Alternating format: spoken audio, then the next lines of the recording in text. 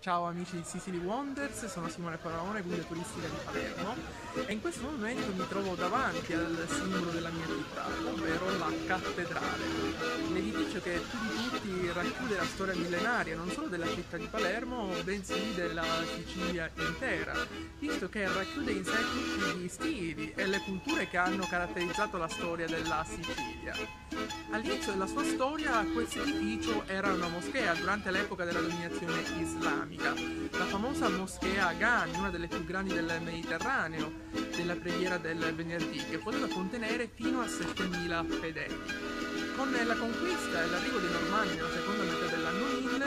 1000, l'edificio da moschea venne trasformato in cattedrale cristiana ed è per opera di Gualtiero Famiglio, ovvero l'arcivescovo di Palermo, che a partire dagli anni 80 del XII secolo venne trasformato l'antico impianto della moschea nell'edificio che vediamo oggi alle mie spalle.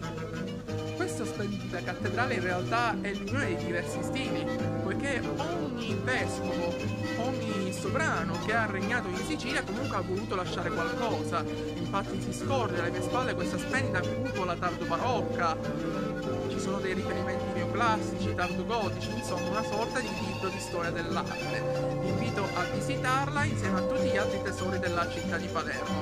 Un saluto, un abbraccio, seguite il canale e iscrivetevi. Alla prossima!